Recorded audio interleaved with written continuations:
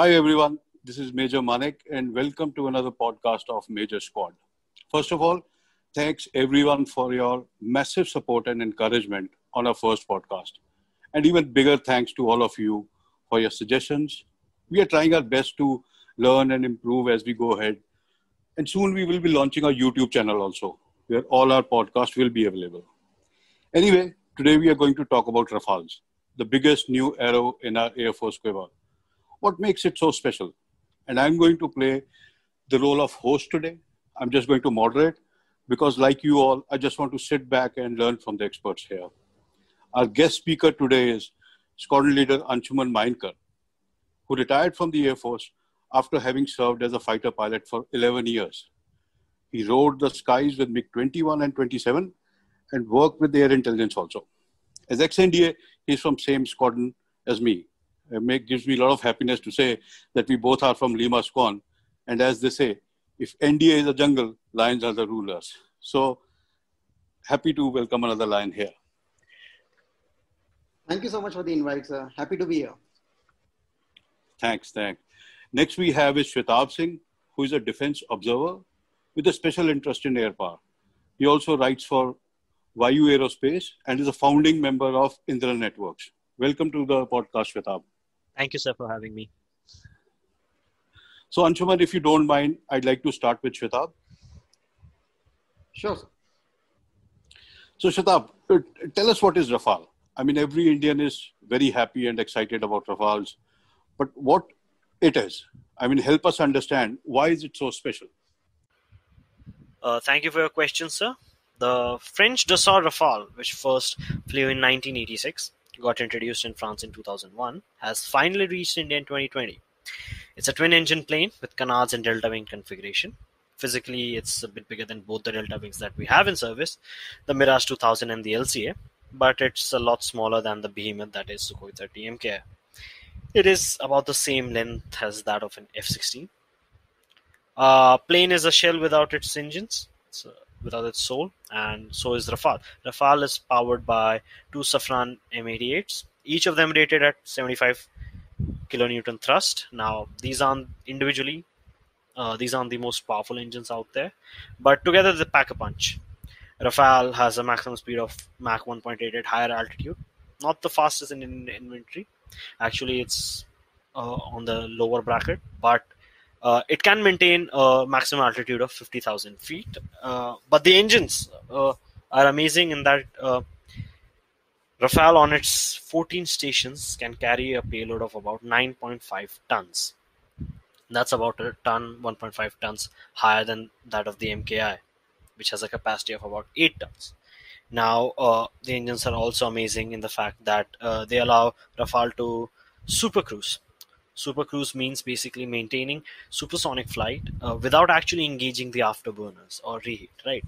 Uh, it can maintain supercruise at Mach 1.4 uh, very few aircrafts in the world can actually do that. It's the F aircrafts like the F-22, the Sukhoi 35, Gripen, Typhoon, and Rafale are the ones that can actually do this. So yeah, that was the introduction for Rafales from me. Thank you, sir. Okay, that, that was a great technical summary. I hope you all got you know some understanding on why certain features are so special. So Anshuman, if you don't mind, uh, you know, uh, I'll just bother you now tell us why this, I mean, taking from this summary, as a layman, we all understand a fighter plane is a fighter plane. I mean, we already have great ones like Sukhois and MiG-29s and now Tejas. Why is Rafale so special from your perspective? What makes it, what as a plane makes it so special? Uh, thank you so much for the question. So uh, first of all, I think what makes it so special is uh, that it brings a host of capabilities that were not available before uh, things like Super Cruise, the engines that he spoke of. I mean, they are a work of marvel. Uh, it has, it can perform different roles. It is more versatile. It can carry more payload, and it can complement the different aircraft that we have in a very good, seamless manner. Other thing, of course, is that uh, being the 0.5 uh, plus generation to uh, some of the other platforms, including the Mirages and the MiG-29s, we can hope to network it in a much better way, right? That is how we can best leverage the long range weapons that it has. And so it will give us better reach as well. apart from that, I think uh, the other implication that not many have spoken about is uh, the strategic role that it can play. The certain number that we procured, it can take over the nuclear role also. And that speaks about the great amount of dependence that we will have and also the great amount of assurance that the platform gives us. So in terms of maintenance, in terms of uptime, in terms of the versatility, in terms of complementing, I think it's a, a very uh, successful platform which has proven itself in combat elsewhere. And uh, it'll do a world of good in terms of uh, integrating with uh, the forces that we have and taking the battle to the next level. Thanks. Okay, Th- thanks, Anshuman. So uh, I'll just come back to you, Shwetabh, now. I mean, a planet itself is just a platform, like the term, you know, Anshuman used. Right. Uh, what gives it real lethality is the arsenal it can carry. So uh, we've been talking a lot about Meteor missiles, and we've been talking of range of other hosts, uh, range of other missiles and radars that are with Rafale. Can you give us a brief on uh, all those? Right, sir. So uh, the weapons that Rafale carries, uh, I'll start with the most basic one that any, which is integral to any uh, fighter aircraft, which is its internal cannon. The Rafale carries a 30 mm internal cannon made by Nexter. Right now, uh, coming on to the air-to-air missiles that it carries, uh, the Indian loadout that we selected comes with a Mica series missiles of short-range air-to-air missiles. We have uh, the Mica IR and RF, uh, which are all already available on the Mirage 2000s and our Sukhoi 30 MKIs. Next is the talk of the town, the Meteor Beyond Visual Range Long Range uh, Air-to-Air Missile.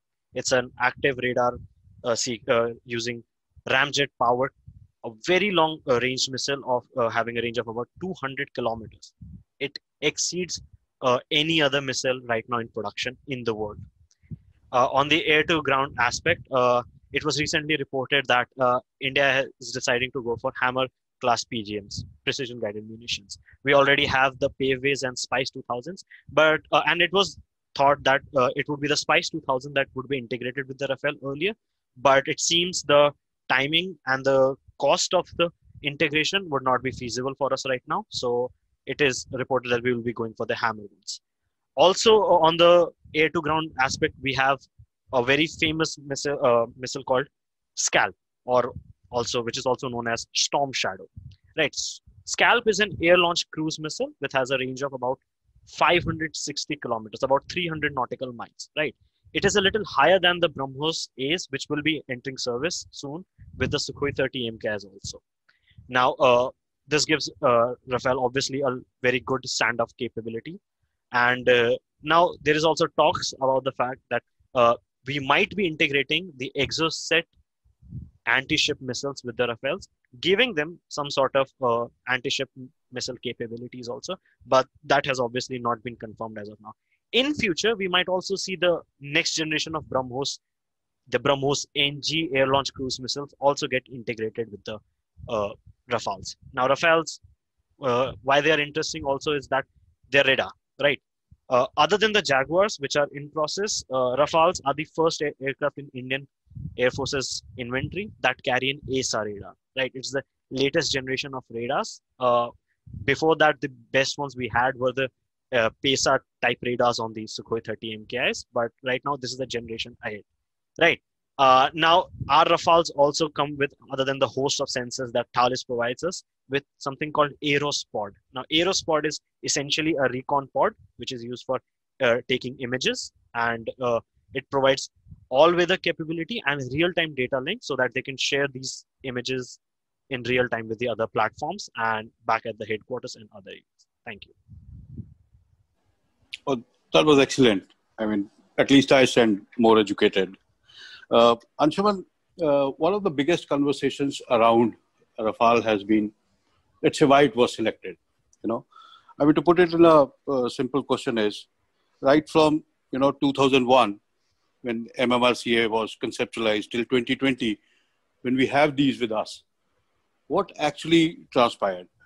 I mean, from IAF's perspective, what made this happen? We would really like to understand that from you. Thank you so much for that question, and uh, I think it's it's a very very valid question at this moment. And over the years, there's been a lot of talk over the MMRCA and the commercials and other aspects, but I think it's good uh, uh, to get back and revise how the requirements came about and after 20 years, where we stand. So first of all, as far as the MMRCA is concerned, you know, I think all the contenders were excellent. First of all, they are all market leaders. They are all at the cutting edge and even more, they are future ready and they are all prepared for the long haul in investing in India. So the kind of future benefits that India stands to gain is amazing. So from a perspective of sharing out RFIs and getting proposals, I think it was the platform that we see were really great. But of course, one had to win. So what went into all of this? So first of all, there are two aspects to selecting a platform. One is, of course, the combat performance per se or the operator perspective where we talk about the desired specifications that the IF requires and what the vendor comes up with. What are uh, his maturity levels? What is the different types of add-ons that he can provide, etc. Then, of course, there are certain conditionalities about India, ranging from weather to the ability to plug and play COTS type of equipment.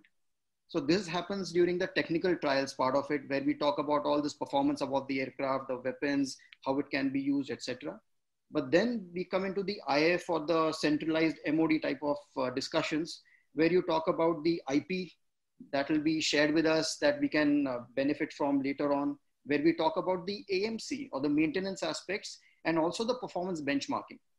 And that is a very, very crucial aspect because I think OPEX costs are going to be huge and they are justifiably so. So if you recall, I think Mirage is the only platform in the inventory which has retained its camouflage scheme because the French say that if you mess around with it, then they are not going to guarantee its performance, right? So even small bits like that comes into this aspect because the vendor wants to look good in front of the world that he's trying to sell weapons to. So this maintenance aspect, the performance benchmarking is very important because as we all know, platforms are nothing but computers today. So there's a new version that's going to come out I think the Rafale is already at F3 or it's going to go to F4. So that is something that needs to be discussed. And once that is over, then they get into the capex and the opex part, the entire life cycle cost, etc. So having done this at the technical trials, the IF MOD trials, the third aspect that is also important that goes into this is the national and political prerogatives. So in terms of uh, if you want to use a platform for special role, will the government, uh, the selling government approve it or not? what will be the end user limitations and other such requirements such as offsets, make in India, etc. So it's a fairly complex thing, which then finally goes, drills down deeper into the platform, into the vendor, into the government relationship. And that is how we came up with two aircraft initially, and then we selected the Rafale. So in short, it was about performance, it was about future readiness, it was about commercials, but it was also about geopolitical and domestic prerogatives. So I think pure performance wise was one aspect, but even beyond pure uh, performance, there's a lot of other things that the government, that the IF has to look into because it is going to serve us for the next 20 years plus. So I think that in short is what uh, the entire game was about over the last 20 years. And as far as the upshot goes, we all know about the performance and the kind of check marks that Rafale brings to the table but there also needs to be mention of the compliments to the team who works at the IF. In 2001, when they came up with requirements to now, when finally we have the Rafale, had this been done in the normal time frame, maybe today we would already have been ready with two or three squadrons in time to face the threat with, with full capacity. So I think that nobody makes a mention of the kind of work that goes on in the background. And that is important for us to note as well that uh, there are a lot of people at work. They are doing good work in the Air Force. Just that a lot of these processes have to be uh, understood. And that is what aircraft purchase makes a lot of, you know, it becomes very complicated and it has such a lot of gestation periods. So just a case in point, in 2018, France has already started what it wants in terms of a Rafale replacement back in uh, further ahead in 2030 or 40. So that is the kind of game that we are looking at. And when we talk about how good is Rafale today, yes, it is a great platform, but where does Indian Air Force want to be 20 years from now? And what are we doing to get there? I think that is the kind of narrative that needs to start working from here on. I hope that answers the question, Mark. Oh, brilliantly. That was, that was a great reply. Uh, uh, so now we'll shift our gear a little and go back to the Twitter thread that I started around two hours back that we are going to do this podcast. So I'd ask people if you have any glaring questions, if you have some something really you want to understand from these two experts, please post your questions. So I'm going to leave it to both of you. Uh, I'm sure you selected the question you want to answer. Anshuman, let's hear it from you first. Great. Uh, so I selected uh, Rajnikant has tweeted and uh, he says uh, he watched the earlier episode and uh, what exactly the IF is positioned in the current world of affairs is his question. And then he breaks it down into is Tejas really formidable and Rafale really a game changer? So um, uh, I think this does cover two or three things. So I thought I'll take this on. Great. Thank you for the question, Rajnikant. And uh, as far as the IF is concerned, uh, like I just mentioned, there are people at work. They understand the nature of war and they understand where it needs to be. But it needs to be kept in mind that this is a game of long gestation, which has a lot of other implications as well beyond a platform or its performance. Having said that, I think uh, we are at uh, a place from where we are just going to go on grow. So I think this decade promises a lot of dividends for the IF and with the kind of platforms that are being inducted and with the kind of developments that are happening elsewhere, I think there are a lot of good news that is going to come up in the future, even in terms of the indigenous stuff that we are developing. So as far as IF's position, positioning wise is concerned, it's looking good. Is Tejas really formidable? So I think I'll take both of these questions. You know, I mean, Tejas and Rafale, I will not say they are entirely formidable or game changers, but I'll say they are platforms which then complement the entire system that we have, which includes air defense, which includes ground forces, etc. So that is how the entire picture becomes clear once we know it. Of course, they bring unique attributes to the table. Tejas has its own development history, its own requirement, and the role that it will perform will be distinct. Rafael brings in something very new. It will enhance our capacity definitely, and it will also have an edge in the subcontinent for some time to come. But remember that these are transitionary phases. People are constantly competing and there'll be something better. So the, I'll go back and say that IF is positioned well and with the right kind of equipment that it has, I think if we have the correct approach and the support of uh, the powers that be, we can evolve into a really uh, good and uh, effective uh, sort of a service. I hope that answers the question. Yeah, sure. And I hope Mr. Rajnikant is satisfied with the reply. So let's go to you, Shwetabh, which is the question you selected, and let's hear your reply. Yes, sir. So the question I selected was from uh, Aniket Deshpande and Joy. Essentially, both of them asking how uh, the Rafael would fit in the bigger picture, as in uh, they are good as individual platforms, but uh, as Anshuman sir also pointed out, that uh, Rafale is important because it essentially uh, fits fills in the gaps of the entire picture right so i wanted to uh, uh go with that that the fact is that Rafale carries a loads of sensors like it carries a lot of fso it carries aerosports and it has uh, passive detection irst etc etc right? It carries a lot of sensors and uh, most of the sensors on on board are made by thales right? Having the same oem benefits is because that Thales also provides on the Rafale uh, something called modular data processing unit, which is essentially their mission computer, which uh, essentially uh, integrates this thing. The, the, data fusion that happens from all these sensors, a fully automated data fusion, uh, it creates a much better picture and situational awareness for the pilot than any other plane, which might have loads of different sensors from loads of different OEMs, and then somehow trying to uh, create a image out of that because of the fact that it's same uh, we have this uh, clear and seamless and better and a more complete image in general.